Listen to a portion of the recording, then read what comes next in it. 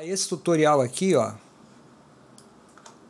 esse cara aqui, do Real Python, um site bem legal, não tem nenhuma relação com esse site, tá?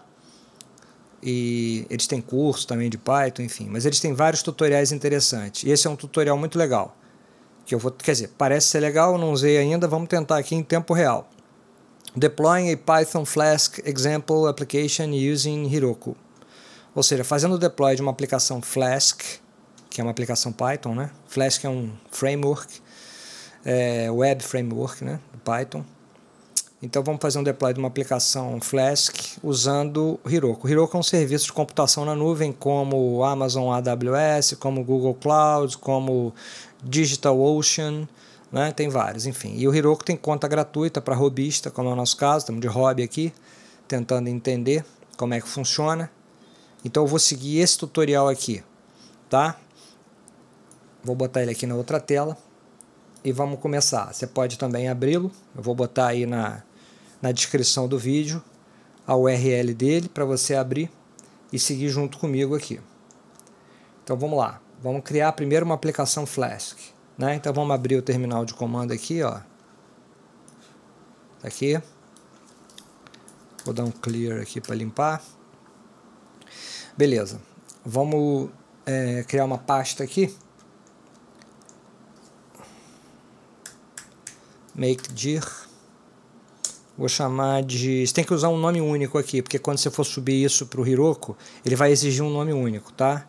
Então eu vou chamar de ML de Mauro Lopes. Flask app app 99, tá? ML Flask app 99, ninguém vai ter isso aqui. Beleza. E agora vamos entrar nesse diretório. Beleza, estamos lá dentro.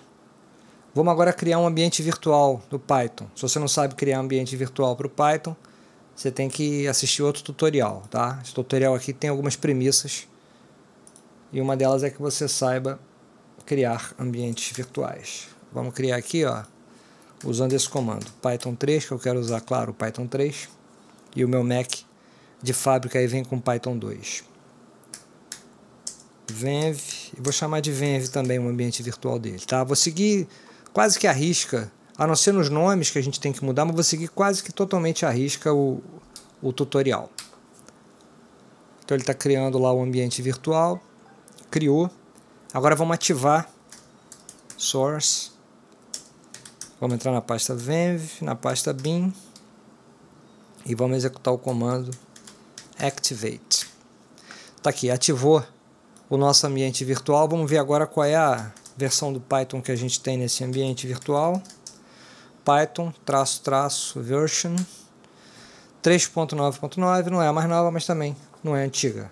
Tá, tá de bom tamanho aqui para 2022, quando eu estou gravando. Beleza, vamos instalar o, o Flash no nosso ambiente virtual. A gente já está nele, ele está ativo, né? Então vamos ao pip. pip install Flask. Ele está instalando o Flask aí. Beleza, agora o tutorial manda a gente descrever aí num, num arquivo de texto quais são as dependências que a gente está usando. Para isso, tem um comando simples aqui. Deixa eu limpar. Clear, limpar a tela. Vamos lá. pip freeze requirements txt. Pronto, beleza. Tá? Então agora a gente tem o venv, a gente vamos listar aqui os arquivos que a gente tem. A gente tem esse arquivo de texto, tá? Com as dependências listadas e a gente tem o nosso a nossa pasta do ambiente virtual. Vamos agora criar uma, uma um arquivo principal que a gente vai chamar de app, app.py é nesse arquivo principal que a gente vai escrever a aplicação. Então vamos mandar um touch app.py. Vamos listar os arquivos, está aí, ó. Está aqui o app.py, né? E agora a gente vai abrir o nosso editor de código. Vamos ao VS Code e vamos abrir tudo aqui, ó, code. Tudo que está nessa pasta vai para o VS Code. Está ele aberto aí. Aqui o nosso arquivo de dependências, está tudo aqui, tá? Vamos para o app.py, em que a gente vai escrever a nossa aplicação super simples de Flask, que vai ser from Flask import Flask. Tá? Agora vamos instanciar a nossa aplicação. Na verdade, ó, a inteligência artificial que está por trás aqui do VS Code que eu instalei, que é aquela do GitHub, né? Já está me ajudando aqui. Ela já sabe o que, que eu vou fazer. Ó, app.route e aqui a rota é a raiz, né? Eu quero que quando o cara entre no meu site, na raiz do site, essa função index rod, essa função vai rodar e vai retornar aí o hello world em, em título aqui, H1. Tá bom? Então, basicamente é isso, ó. Salvamos.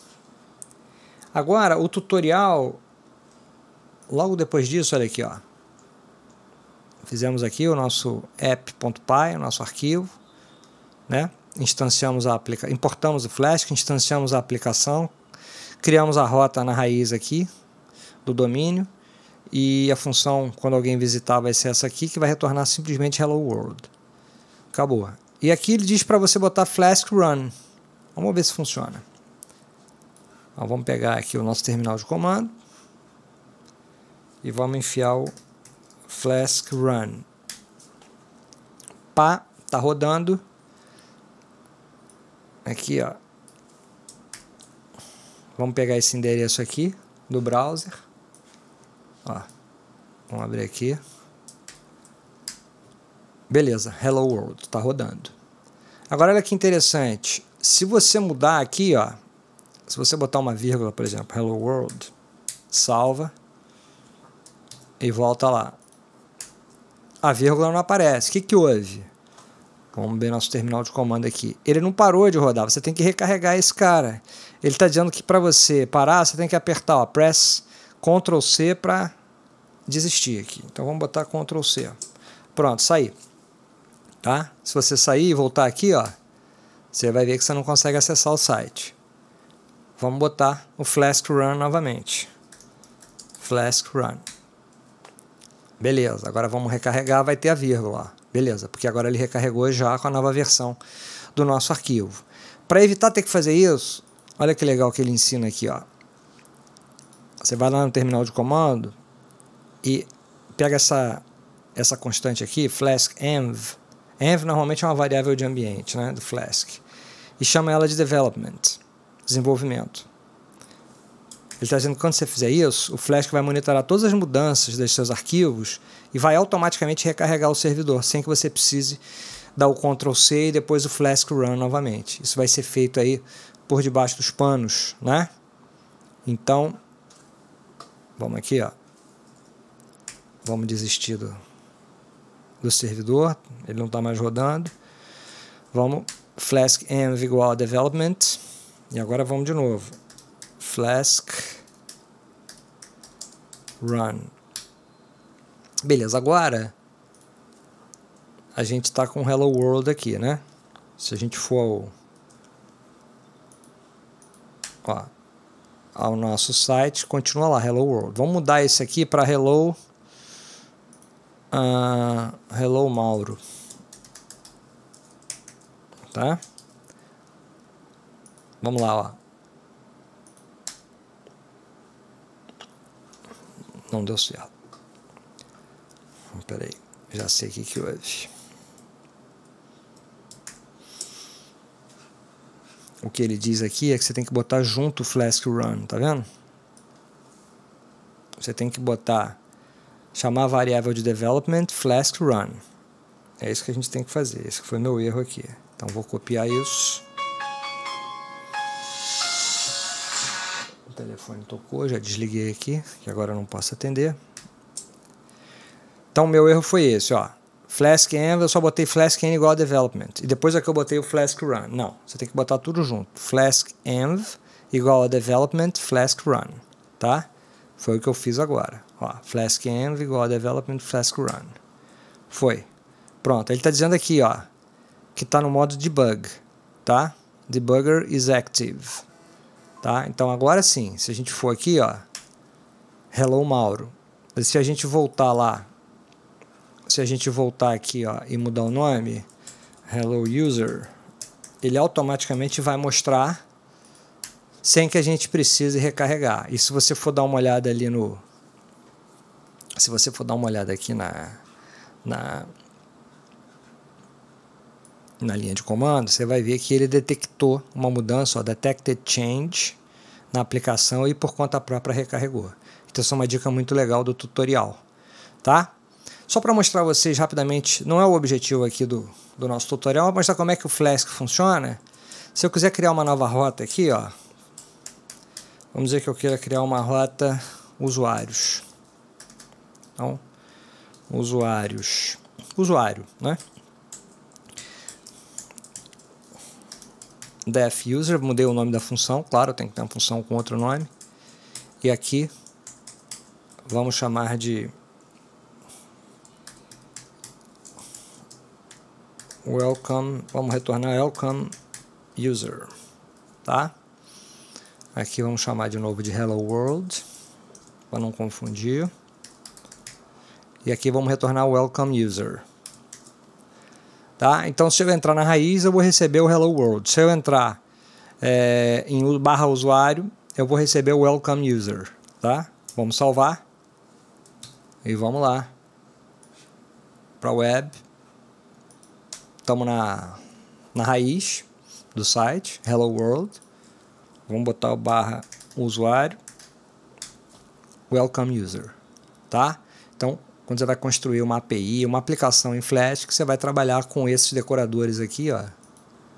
Tá? Bota o decorador aqui em cima, a aplicação está instanciada, então você dá um arroba aplicação.route, que é a rota, diz a rota que você quer, e depois a função que vai ser rodada aí quando alguém visitar essa rota, tá?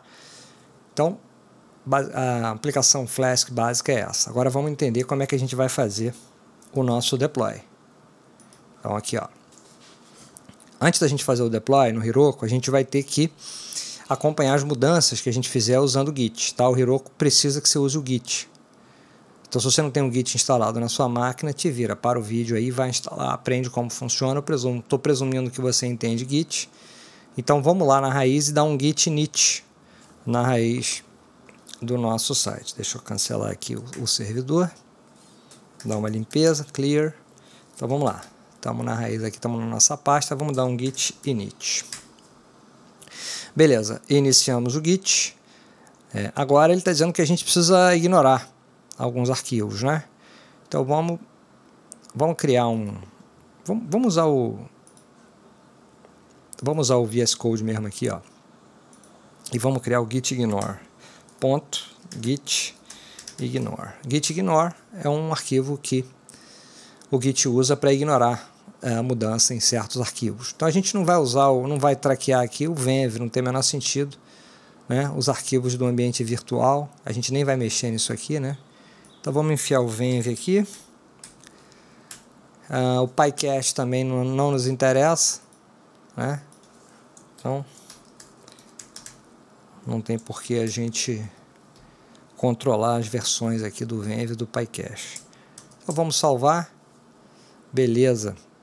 Vamos voltar para o nosso terminal de comando. Aliás, vamos voltar também para o nosso. Vou botar assim, ó, botar ele aqui e botar o nosso terminal aqui do lado. Pronto. Então, vamos dar um comi, vamos dar um, vamos adicionar, né? Vamos adicionar, ó, git add. Aí vamos adicionar o git ignore Vamos adicionar o app.py e o requirements, quer dizer, vamos fazer o tracking das versões aí desses arquivos. Adicionamos, agora é só dar, é só comitar isso, git commit e vamos chamar isso de first commit. Beleza. Tá aí. Comitamos o que a gente precisava comitar. Agora chegou a hora de fazer o deploy para nossa, da nossa aplicação para o Heroku. Tá? Bom, a gente vai ter que entrar na página de registro do Heroku. Então você vai entrar, ele mostra aqui ó, a página de registro, você vai preencher isso aqui, depois vai confirmar seu e-mail, a conta é gratuita, tá? Você vai dizer aqui no role, né, a sua função, você vai dizer que você é um robista, que você está fazendo isso de hobby só, para conseguir a conta gratuita do Heroku. Se é que você já não tem uma conta, né? É, e depois você vai ter que instalar a interface de linha de comando do Heroku, tá? E ele diz aqui como é que você vai fazer isso. Então, ó, vamos primeiro fazer... Bom, estou presumindo que você já fez isso. Eu já fiz isso tudo aqui, tá? Eu já, eu já tenho a minha conta lá no Heroku. Você já tem a sua conta, você vai pegar simplesmente esse comando aqui, vai copiar, vai colar no seu terminal para instalar a linha de comando do Heroku. Ele vai pedir a senha, ó. Tá pedindo a senha aqui do teu computador de administrador. Eu vou botar a minha e aí ele vai começar a fazer o download da interface aí de, de linha de comando para você acessar o Heroku pelo seu terminal. Pronto. Está é, tá instalado. Tá? Era o que você precisava. Então você vai enfiar um Heroku Login aqui. Ele vai abrir uma página do browser para você se logar. Mas vamos lá, Heroku Login. Ele está dizendo aqui o seguinte, ó aperte qualquer tecla para abrir o seu browser e fazer o login, ou então aperte Q para sair. A gente, eu vou apertar um Enter aqui. Pronto, ele abriu aqui uma, uma nova aba, login, ele vai usar ali a, as minhas credenciais que já estão na sessão, porque eu já estava logado no Heroku.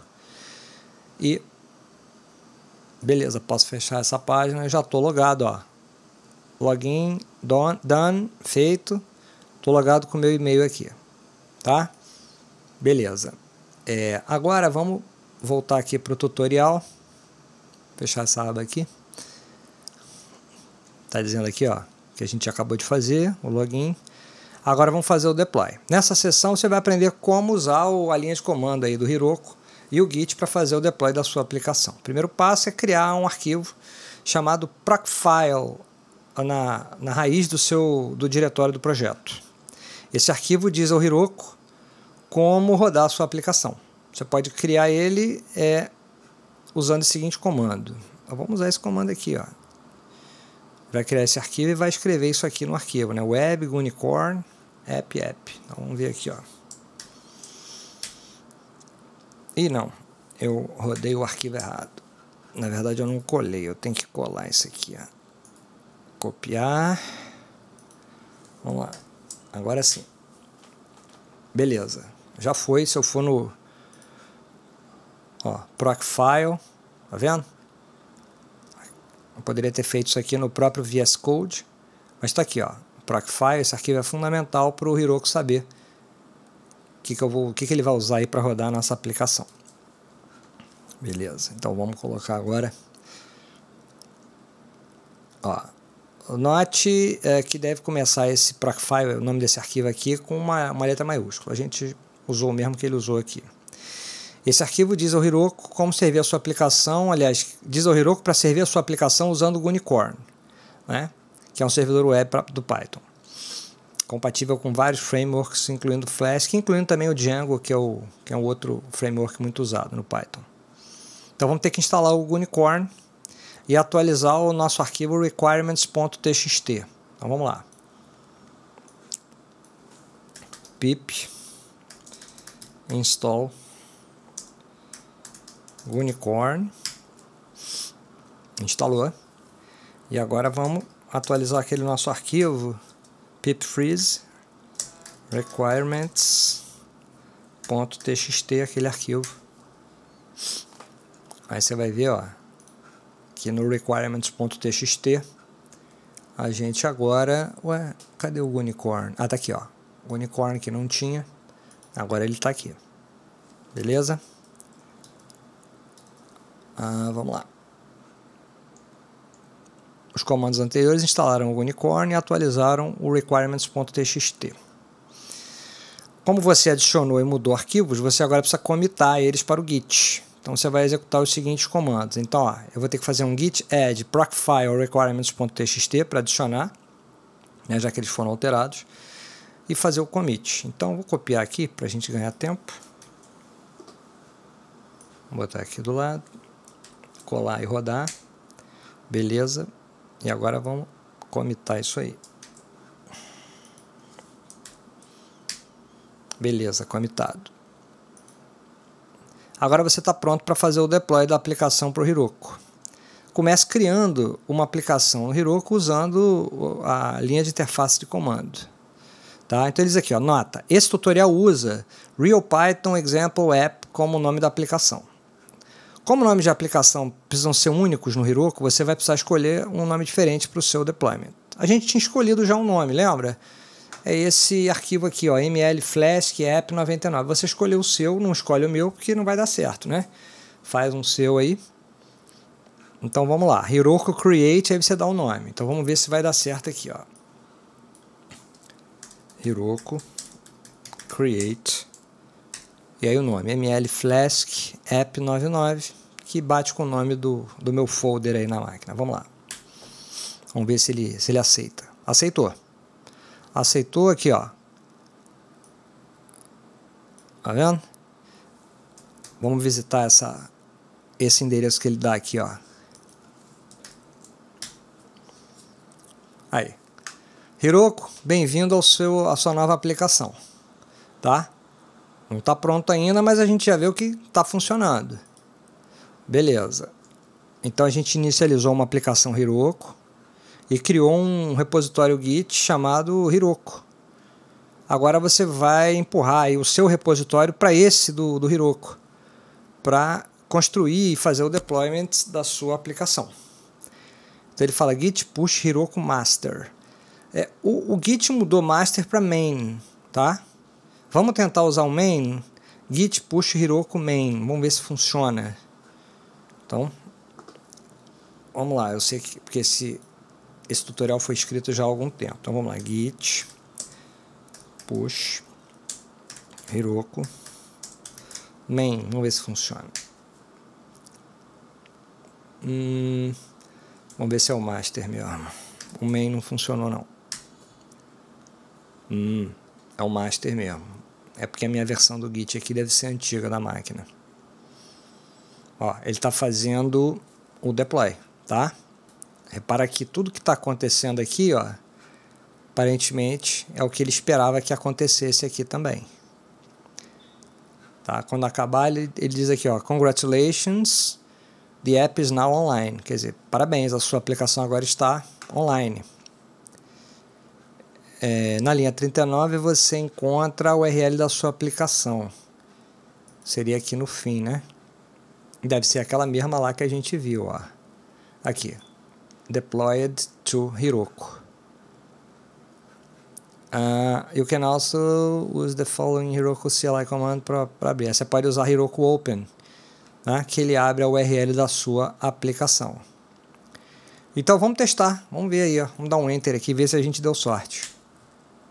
Aí, Hello World, tá a nossa aplicação aí. Se a gente botar barra usuário, welcome user. Quer dizer, o que a gente tinha na nossa máquina local, agora a gente tem online, tá aqui, ó.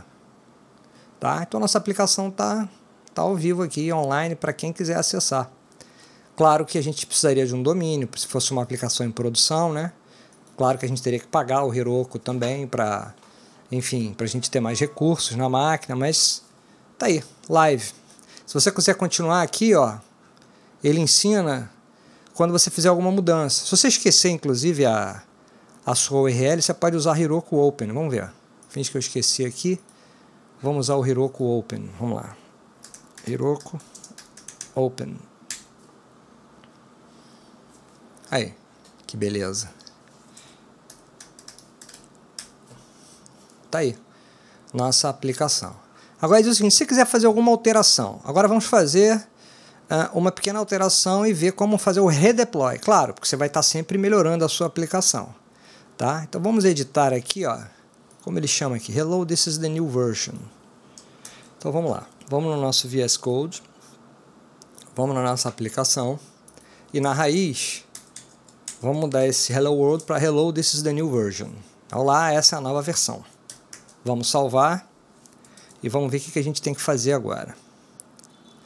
Como você vê na linha 7, o Hello World foi alterado para Hello, this is the new version. Você pode fazer o deploy dessa versão para o Heroku, comitando e empurrando isso, essas mudanças, para o repositório remoto Heroku. Então, olha aqui, ó.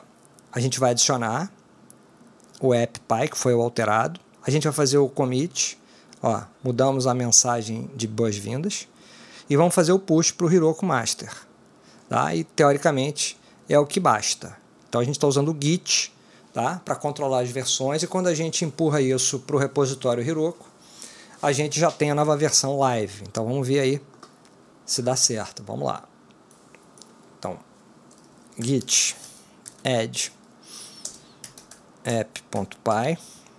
Vamos adicionar esse arquivo que foi alterado. Vamos fazer o, o commit git commit traço m.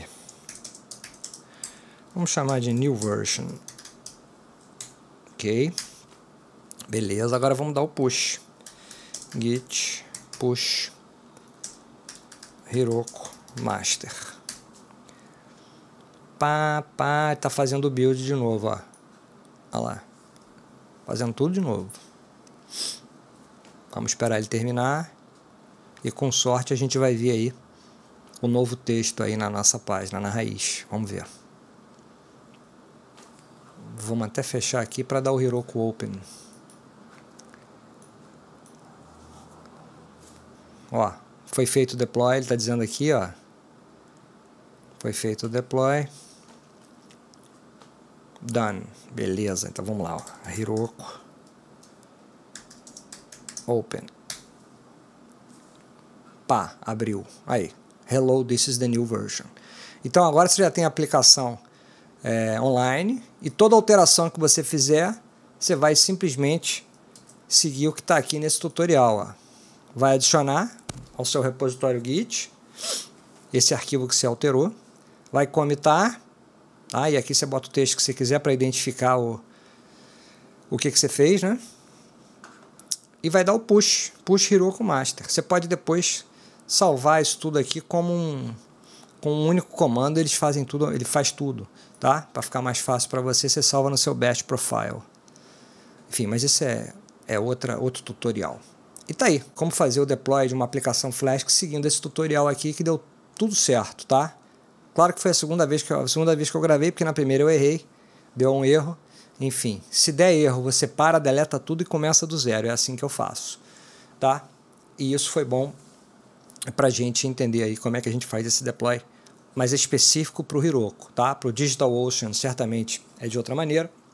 E a gente pode, em outras oportunidades, tentar no DigitalOcean, na AWS, é, em outros é, é, serviços aí de computação na nuvem, ok?